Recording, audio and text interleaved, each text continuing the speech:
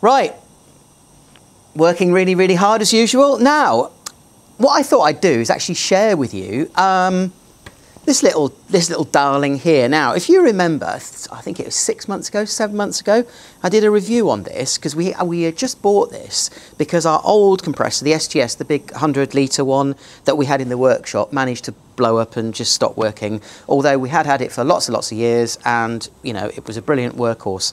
We replaced it with this one, which was the little oilless uh, portable compressor, smaller cylinder size um, and at the time, it was like, it's great because it's light and we can move it around, but I wasn't 100% convinced, as you probably gathered from the review.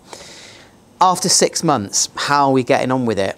Well, actually, it's amazing. It's, I don't know really, it's just really, really good. I couldn't have done things like this. I would never, ever have actually brought the compressor out of the main workshop to work on something um, like this, I would have just found other ways to do it. But basically, because it's so lightweight, I can just wheel it out. I can wheel it around all over the place. Um, have I got any gripes about it? Well, yes and no. This broke. This end, this plastic piece broke, but I think the plastic might have been a little bit brittle. Um, but I contacted Hyundai and they just they just changed it completely free of charge. So it wasn't really a problem. Didn't stop it working. It's just like a little guard. I do have one gripe though. I must admit. The old SGS model that I had lived outside pretty much and never ever showed signs of rust.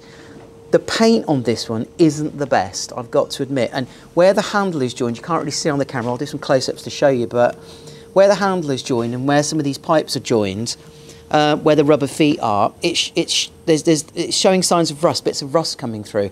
Now, I think it's literally down to the fact that the paint is too thin um, which is a shame really because it kind of lets it down a little bit really because these these things are absolutely rock solid. Um, we had some comments about longevity. Are they going to work being oilless? Do we need new seals in them? Have it, has it lost compression? And the answer to all that is no. It's got just as much compression now as, it, as the day I bought it. And to be perfectly honest, I can't see why it wouldn't carry on. And also, given the price, would you really want to rebuild one of these? To be perfectly honest, you know, five or six years from now, if it fails or whatever, I'm just going to buy another one. I'm not going to bother rebuilding it because it actually has been really, really good. It's used every single day, every single day. Um, I don't know how many hours a day, but we use it to build things like this. We use it. We're using everything, all the air tools, saws, everything. Um, yeah, the duty cycle is a bit is a bit less than the other one because it had a 100 litre cylinder. This one doesn't, but it fills up so quickly. It's neither here nor there. So 10 out of 10 still. 10 out of 10 for the little Hyundai uh, super silent oil-free compressor because it's still working absolutely brilliantly from the day I bought it.